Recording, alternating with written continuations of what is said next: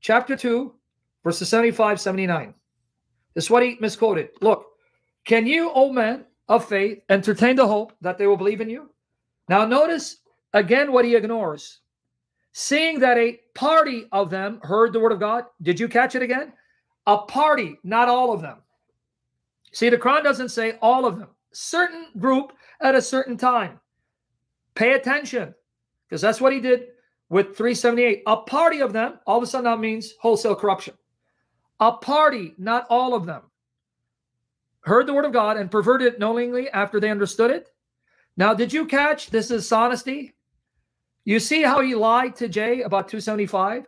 Because notice it says they perverted the word they heard. How then do you assume this means they perverted the text? Because you don't hear the text, you read the text if you're perverting the text. Here it means when they heard the word of God, then they perverted its meaning because when they heard it, then they twisted it and misinterpreted it. See the deception again? But then he thinks 279 proves this case. So let's see if you're paying attention. Number one, it's only a party, not all, a specific group at a specific time. Number two, they're perverting what they hear, not what they read. So they're not corrupting the text. They're perverting the words they hear by adding or twisting them. Did you catch those two facts? Did you catch those two facts? Are you with me there? You see what he did again? It's a specific group, not all, not all Jews, not all Christians, in all places, at all times. A specific group at a specific time, not all. Number two, they are perverting what they hear, not what they read. So it has nothing to do with them changing the text. It has to do with them hearing the words orally and then adding or perverting their meaning verbally. See the dishonesty again? But then he thinks he has us in verse 27, the verse 79. Let's continue. All right. Behold, when they meet the men of faith, they say, We believe. But when they meet each other in private, they say, Shall you tell them what God hath revealed to you? That they may engage you in argument about it in their own desires. In other words, why are you telling what God revealed? Keep it to yourself so they don't use it against you. So they're withholding and hiding the revelation. How do you hold and hide a revelation you don't have? You understand what it's saying? They're saying, Why are you telling them the revelation given to you? Hide it. Well, you can't hide something you don't have.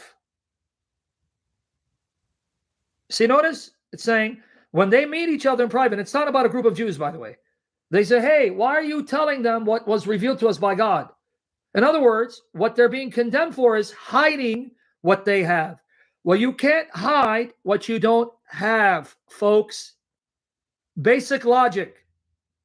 If they're hiding the revelation, that means they have the revelation. Otherwise, what are they hiding? Is that sinking in?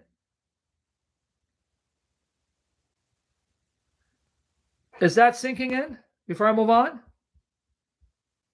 Here it is. But when they meet each other in private, they shall they say, Shall you tell them what God hath revealed to you, that he may engage you in argument about it? Right? Before in their own desires? Okay, we got it?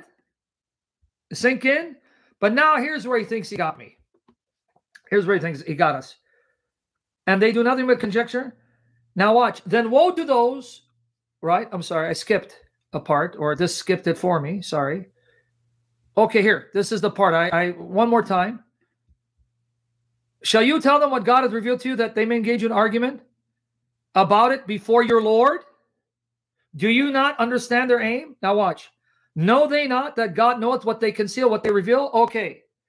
How does this passage prove that they corrupted the text when it says they're concealing what God revealed to them and they only make known parts of what God revealed to them? You cannot hide and conceal what you don't have. The only way they can conceal God's revelation is if they have it. So they're being condemned for hiding what they have. Okay? But now let's continue. Know they not that God knoweth what they conceal and what they reveal? Now here's the key. There are among them, notice again, among them, not all of them, a party of them, among them, not everyone. Illiterates who know not the book, They don't know the book. They're unlettered. They've never read the book, but see therein their own desires. Now, here's the part where he thinks catches us. And they do nothing but conjecture. Then woe to those who write the book with their own hands, and they say, This is from God. To traffic with it for miserable price, woe to them for what their hands do right and for the gain they make thereby. Aha, see? The Quran says they wrote scriptures that's not from God to make money. Okay, now let's destroy this objection, shall we? Did you notice who the ones were who wrote a book with their hands? Here it is, 278 to 279. Look at his dishonesty again. Okay, look at his dishonesty. Let's see if you catch it. 278 to 279. Okay, pay attention because this is the best he had. That's all he had because he didn't have anything else. Let's see who it is that wrote a book with their hands in order to deceive people to make money off of them. And there among them illiterates who know not the book. Illiterate means they don't know the book. They haven't read it. They don't have access to it. So how do you corrupt a book you don't know? How do you change the text of the book that you haven't read and are ignorant of? No, because you misunderstood. It's not illiterate meaning unlearned, uneducated, meaning they're illiterate when it comes to what's in the book. They're not illiterate they're only illiterate when it comes to the book, meaning they don't know what's in the book because they don't have access to it. They don't read it. So the word ummi literally means unlettered, someone uneducated about the scripture. It's where you're getting confused. Okay? It explained what it means illiterate. Ummiyun means uneducated, unlettered, not illiterate that you can't read. So why were they illiterate? Meaning they were ignorant and unstudied when it came to the book. They didn't have access to the book. They didn't know what was in the book. They didn't read it. So what did they do? Then they wrote a book of their own and then deceive people thinking this book is God's word to then make money off of them. So this actually is not about the corruption of the book sent by God. It's about a group of people at a specific time in a specific location who knew nothing about the book, who didn't have access to the book, didn't know it was in the book, who then wrote something and claimed it's revelation to see people. Who? A particular group at a particular time. Not all of them, not everyone. And this group had no access to the book that was preserved, so they couldn't change it. In other words, this passage makes more sense that it's referring to the book of fables like the Talmud and other books that people had written that they then cited as scripture, not the books of the Bible. So, number one, it's referring to a specific group at a specific time. Number two, this group were uneducated when it came to what was in the book. Well, if they don't know what's in the book, they can't change it. So then they wrote their own book, which could be like the Talmud. So this passage doesn't show that they corrupted the Bible wholesale. At best, it only refers to one particular group in one particular area. So even if you want to say it's the Bible, all this means is they corrupted their copies. But there were other groups all over the world who had their own copies that they would not corrupt. That's what chapter 3, verse 113, 114 stated, and chapter 3, verse 199. You see how dishonest this guy is? And when I go into part two and then make the positive case and show you verse after verse after verse, where the Quran says, Muhammad and his Quran confirm what you have, confirm what's in your possession, confirm the scriptures and the hadith, you're going to see what kind of wicked deceiver this guy is. Dishonest. Because remember, the kind of God you serve will impact the kind of person you'll be. And his God is a liar and deceiver, de- liar and deceiver and a murderer and a rapist. Cool. Let me call hell and ask Muhammad who the group was. What's it to you who the group was? It was your ancestors in Turkey. All you need to care about, it's a particular group at a particular time and not everyone. So the Muslim sources will tell you it was a group of Jews, right? But who cares whether you know the exact group or not? The context is clear. It's a particular group at a particular time who twisted what they heard and another group at a particular time who didn't know what was in the Bible, so they wrote a book on their own. That's all you need to know. Cool. You want me to call hell and ask Muhammad? Because that's where he is. I don't have a direct line to hell, but I'll try to find one.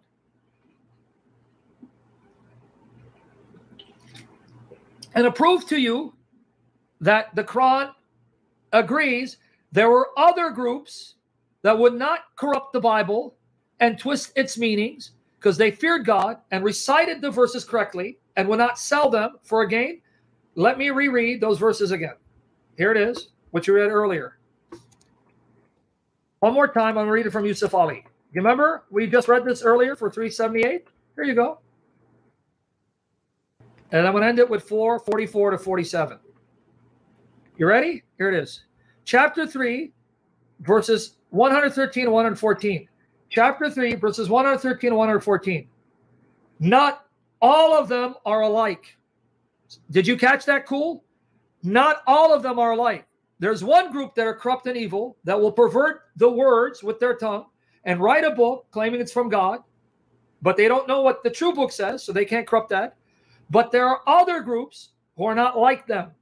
Not all of them are alike. Of the people of the book are a portion that stand for the night. So they pray at night. They rehearse the signs, meaning the verses of God, all night long. Well, how do you re- re- recite the verses of God if you don't have uncorrupt copies that contain the original verses of God? I read this in the beginning, Andre. Were you listening? They rehearse the signs of God all night long and they prostrate themselves in adoration. They believe in God and the last day. They enjoin what is right and forbid what is wrong. They hasten in emulation and all good works. They are in the ranks of the righteous. Now, chapter 3, verse 199. I hope you're paying attention because I quoted these earlier, Andre. You guys better pay attention and learn so you don't misinform and get embarrassed.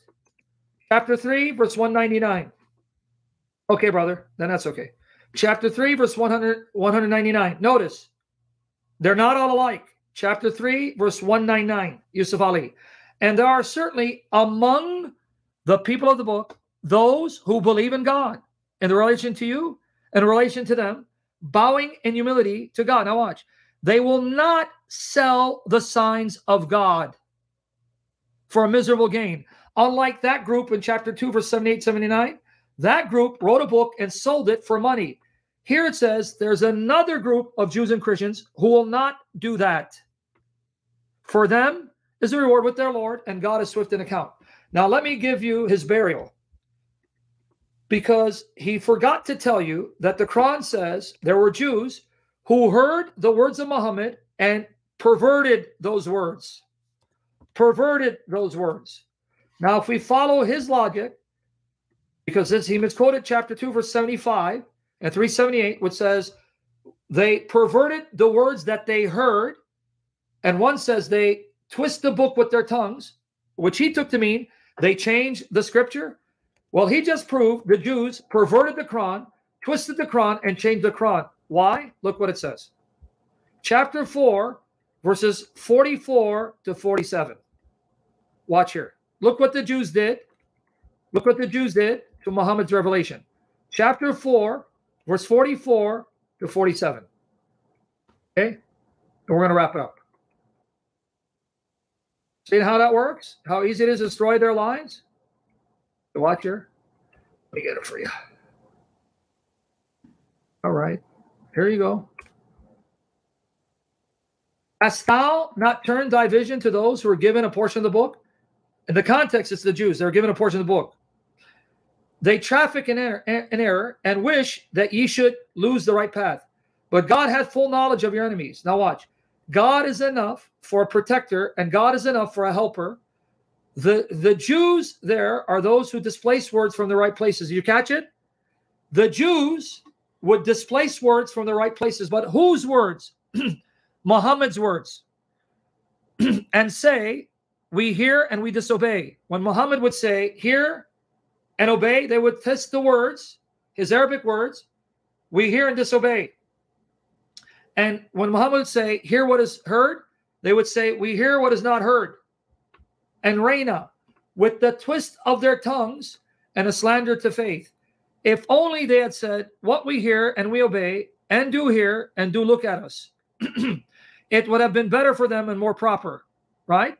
But God hath cursed them for their unbelief, but few of them will believe. Now, did you catch it? The Quran says the Jews were doing to Muhammad's words what some of them did to the meaning of the Bible. Muhammad would say X, they would twist it to say I. Muhammad would say to them, hear and obey. They would say, we hear and disobey. Muhammad would say, hear and be heard. They would say, we hear and we do not, you know, want you to be heard. So they twisted the words of Muhammad with their tongues. If we follow the logic of Daniel, the fact that they twisted Muhammad's words with their tongues means they corrupted the Quran, destroyed the Quran because they twisted the words of Muhammad with their tongues. You see how stupid that is? Because now watch what verse 47 says. I quoted chapter 4, verses 44 to 46, but now watch chapter 4, verse 47. Chapter 4, verse 47. Now watch this, guys. In the same context where the Jews are accused of twisting Muhammad's words with their tongues, giving it a false meaning, the same context, chapter 4, verse 47. O ye people of the book, believe in what we have now revealed, confirming what is already with you. This is the burial of Daniel Haqiqatjou. What does the Quran do? Confirm what you have at that time during Muhammad's lifetime. Wait, the Quran confirms, and the verb sadaqah means to bear witness to, to testify to its authenticity and accuracy and integrity. Muhammad's Quran confirms the veracity, authenticity of what you have. Well, the only thing they had was the books of the Bible. So believe in the Quran because it confirms what you have to be the truth.